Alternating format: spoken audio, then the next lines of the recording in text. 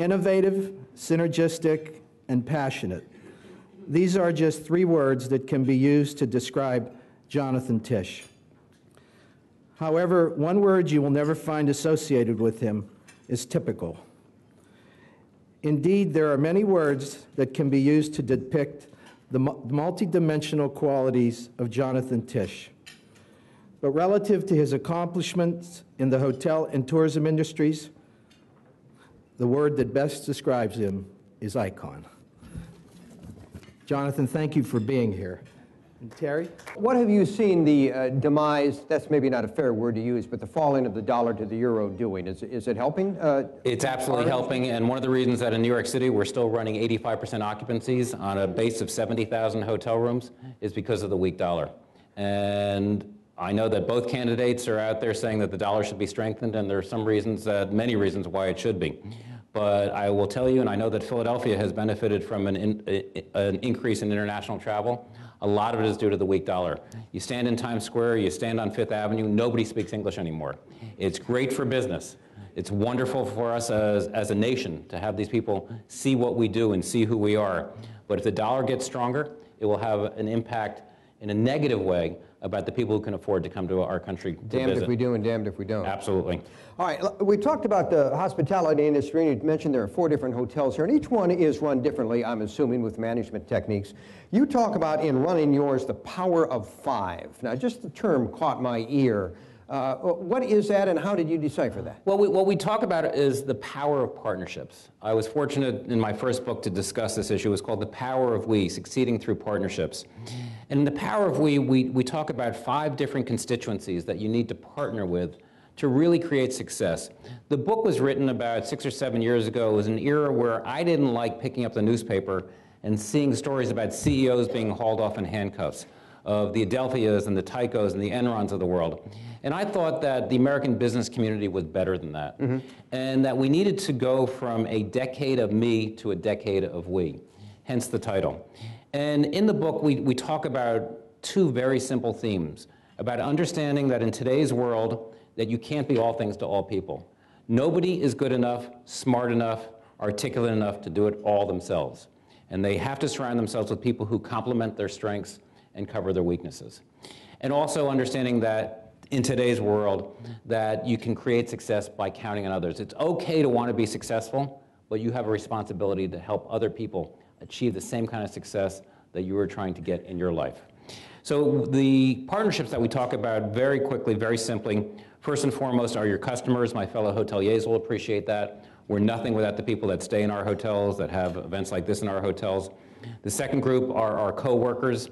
I had a wonderful experience on a show that I did for the Learning Channel where I had a chance to be retrained in jobs that I've done since I was seven years old, but I hadn't done them since I was CEO of the company.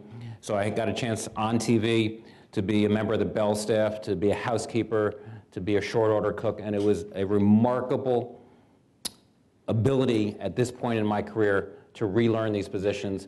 I can sit in my office in New York City, in the heart of Midtown Manhattan, make all the decisions I want about the future of Loews Hotels, but I'm not the one serving the food, I'm not making the beds, and there is going to be no success for senior management without the 7,500 people. It's very important to have a relationship with the community where you operate your businesses.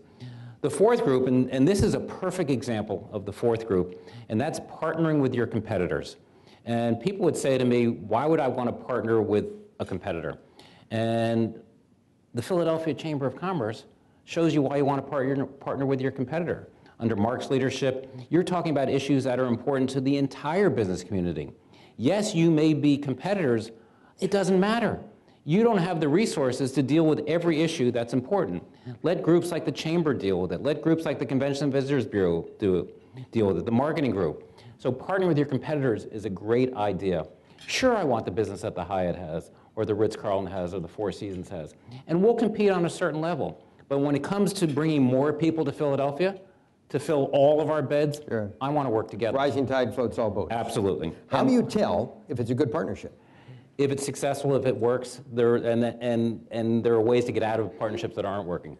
You can tell immediately. You have to go in though with a keen understanding and be very clear about what everybody wants to accomplish. And, and I'm talking business partnerships and also community partnerships. Really have a discussion. What is your goal? What will you think at the end of the day you will look at and say, this is working for me? And also have a vision for how you're going to unwind it if it's not working. How do you decide how much you can contribute and what is the obligation to the neighborhood and to the community uh, uh, moralistically and I guess uh, business-wise successfully? Well, Manny mentioned it in, in his kind introduction, and I am a big believer that you can do good and do well at the same time. That theory was challenged for many, many years. And I think it's incumbent upon us as members of the business community to understand our relationship. I personally do not like the term giving back. I think it, it's, it, it lets people off the hook. It, it's sort of a, a one time reaction to a need, and, and maybe I'm just too cynical for being in New York all these years. But I've seen too many people who write a check, put on a tuxedo, and they think that they've given back. Mm-hmm. Well, my terminology is understanding one's responsibility to the community. And in this era of shrinking budgets in terms of what we get from the national government, state government, local government, it becomes our responsibility even more. Now, the, the benefit to that is that you feel better as an organization. You articulate a vision for how you want to be a good neighbor, and then it can help you later on. In the hotel business, we have rooms like this that are used for weddings, for anniversaries, for bar and bat mitzvahs. And if somebody read that the Loews Hotels did an event and it helped the Red Cross of Greater Philadelphia, I like the fact that they're in the community. I'm going to have my daughter's bat mitzvah at the Loews Hotel. Sure. That's how you can do good and do well at the same time. You talk about your um, sense of responsibility regarding sustainability. That's a, a, wonderful question and one that I think uh, any CEO or any business leader is dealing with right now. We're in the process of coming up with a plan that makes sense for us, but certainly the consumer is expecting some statement that you care about the environment, and certainly our kids are also expecting some statement. And the, the tricky part is when is trying to find the balance between what you can do in terms of your products, in terms of how you operate a hotel, and keeping it cost effective. The challenge that we face now as a business, as an industry, in this particular environment, it's, it's true any, any time you're running a business, but especially now with lower revenues on the horizon, is how do you stay profitable? Our expenses are going up, energy is through the roof, our human resources are becoming more expensive.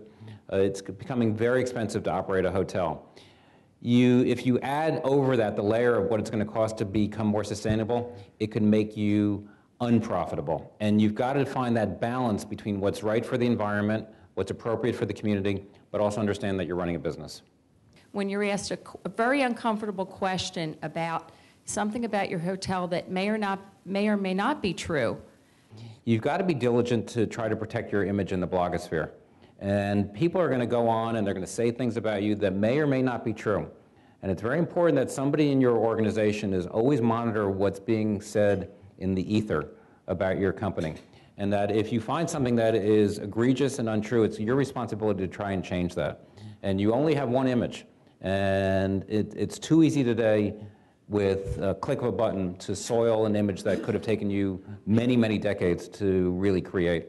Jonathan uh, talked about uh, partnerships and, and, knowing your customers. Jonathan, we have know, many of these folks are, are, proud members of the Greater Philadelphia Chamber of Commerce. We've got, this is always difficult to come up with programming that works. I mean, we have 5,000 members from Princeton to Wilmington, uh, and plenty of members right here in the city of Philadelphia. But one of the things we wanted to highlight today, by virtue of Jonathan's presence, aside from you know, the, the knack for administering organizations and motivating people, is this.